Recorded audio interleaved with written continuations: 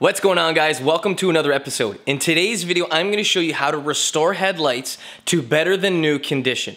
Now, I'm gonna be doing a couple things in this video. So I'm not only gonna be restoring some really old headlights, but I'm gonna show you how to protect it and how to keep that looking amazing for a very long time. Now, also, if you ever get to the point that the headlight starts to look crappy, you can fix it probably in a matter of five minutes. It's that easy. So let me first show you what car I'm working on right now. So I'm gonna be working on this fixer-upper right here. It's a 2004 Audi A4. I already polished and cleaned up these headlights here. However, you can still kind of see on the inside there's a little bit of grime. Now, there's not really much you can do about that unless uh, you remove the lens from the headlight assembly, and that's gonna be a decent amount of work. But as for being safe, this is a much better finish and a much better result as this. So something like this will not pass a safety because the light output and the clarity of this lens is gonna be absolutely garbage. So in order to pass that safety, we need to make both of these headlights look like that. So that one's done, that one's polished up, and I also protected that with a film. Before I get started with this procedure, I know that this process works and I know that it lasts a long time. I've done this exact same procedure to my Honda Accord, which is my daily. I did this over a year and a half ago and you can still see the optical clarity of these headlights. So you can see that there's no oxidation, especially found on the more horizontal areas of the headlights. So usually the oxidation will begin on the top and then it'll start to work its way down to the more vertical areas. So this is over a year and a half later and it still looks amazing. The same thing goes for the passenger side headlight. So jumping back in the garage, we're gonna work on this passenger side headlight first. So what I'm first going to do is pop the hood to remove some of the paint that's basically found on the outside perimeter of the headlight. The entire Audi is going to need a detail, but I'm gonna be focusing on this headlight first. So if we can pop the hood, we're basically gonna be preventing this entire edge of the hood from getting scratched up because we're gonna be using some sandpapers and some polishing compounds to make this nice and clear again. The secret to making headlights stay looking nice and preventing them from fading due to the sun is protecting them once you've polished them. It seems like this headlight has been polished before as the entire headlight has a uniform yellow haze to it. To restore the clarity of these lights, the first step is going to be cleaning them and wiping them down of any dirt that we have on the lens. You don't want to introduce that into the polishing compounds or even the sandpaper while you're removing the oxidization.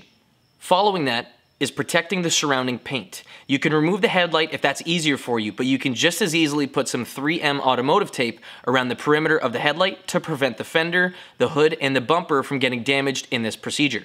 I like having at least two inches around the outside as a buffer for the headlight. So just in case if the polisher wants to move or it slips, it's not going to be removing paint. After that, we can begin the headlight restoration procedure by using some 1500 grit sandpaper and a foam sanding block.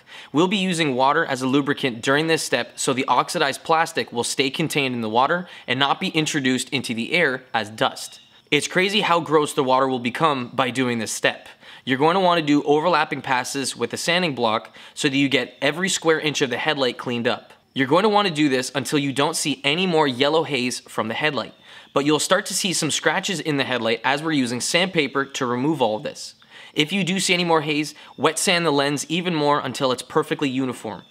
Once you're done, you should have a finish and a result that looks like this.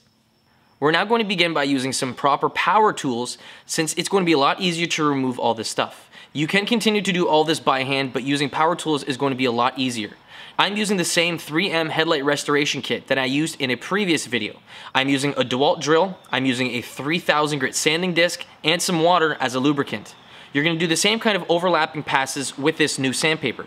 At this point, you're trying to remove all the scratches that we induced from the 1500 grit sanding stage. You should be getting some really good results so far, and you will be able to see that the headlights are starting to look a lot more clear at this step. After you've done this procedure to the lens and you wipe off any excess residue, you should have results that are similar to this. You will be able to note at this point that there are going to be scratches in the headlight, but it's not going to be anywhere near as bad as how it was before after the 1500 grit sanding step. Next up comes polishing. We're going to be using the same drill and attachment with a cutting pad and Meguiar's M105. After you rub the compound into the pad, perform the same overlapping passes just like before.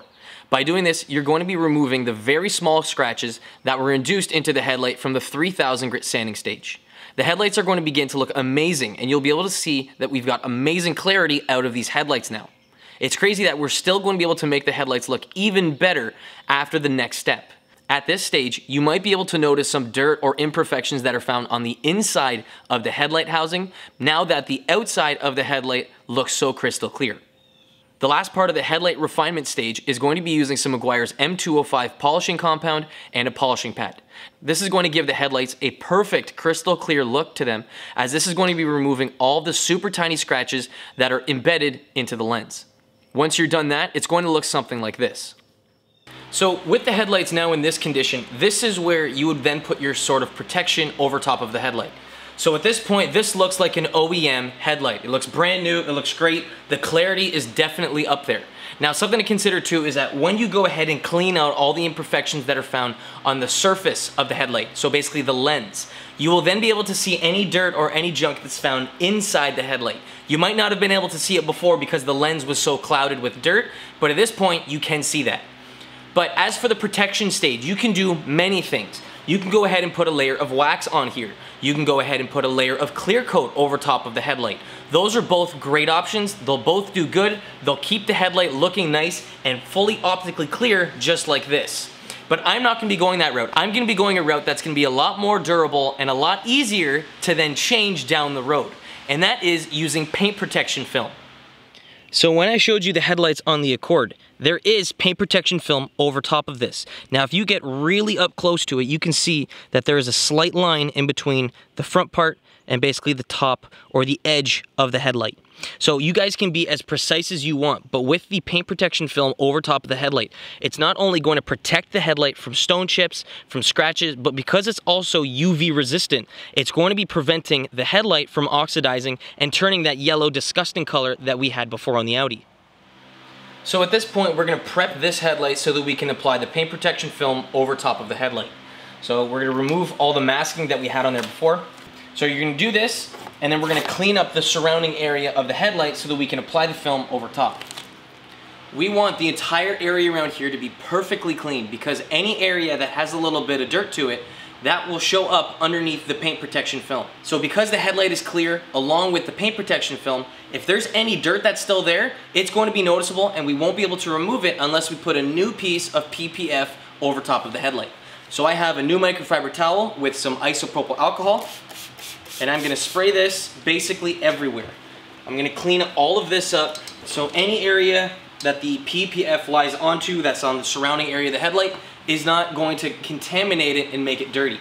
You wanna go over the headlight too with the isopropyl alcohol.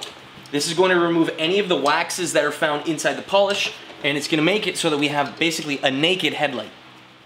To apply the paint protection film onto whatever panel you're working with, your hands need to be incredibly clean. They can't have any dirt on them, otherwise you'll see those fingerprints on whatever panel that you're working with. Your hands should also be covered in the soapy water solution that I have made up. In this little bottle, I have regular Dawn dish soap mixed with regular water.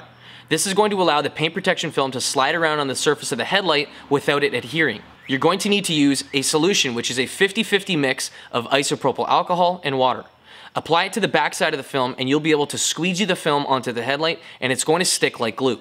With the one half laid down, you'll then want to do the same thing to the other half. What's nice about this film is that we can replace it should we want to. If it gets to be super corroded, if it gets to be super pitted, or even really dirty, it's really simple because all we have to do is peel back the whole thing and reapply a new layer of paint protection film, which is only gonna take about five minutes versus the whole half an hour or full hour of the headlight restoration procedure to get the headlights looking new again. It's entirely up to you which route you guys wanna go, but if you ask me, I think it's worth it to put a little bit of time now into this, put the PPF over top, and then you're good. So it's gonna not only withstand scratches, it's going to withstand rock chips and stuff like that, but you also have the UV protection of the paint protection film, so the sun isn't going to destroy these headlights in a matter of a year or two. Once you have the lens covered, you can trim the excess with an Olfa blade and the entire thing will be protected from all the elements. Not only does this look good, but this is going to be a much safer headlight than what we were working with before. The light that's generated from the bulbs will actually be able to be projected onto the road. These neglected headlights will no longer be a problem should we need to get a safety for the car. Once the headlights are completely polished, any layer of protection is gonna be better than nothing. You guys can buy some 3M stuff, you guys can buy some XPEL Ultimate stuff, whatever you guys wanna do, any kind of PPF is gonna be an awesome way to protect your headlights and keeping them looking this nice. If you guys wanna pick up any of the stuff that you guys saw in this video, check the description box. I've got links to everything, including this stuff. This is a 3M Scotch-Brite paint protection film. This is a one foot by four foot sheet. This is enough to get usually a single car done. I would measure your headlights before you buy any, but that's what I would buy. If you guys have any questions regarding the video, throw them down in the comment section below, and I'd be more than happy to help. Again, guys, thanks for watching. I'll catch you in the next one. Peace.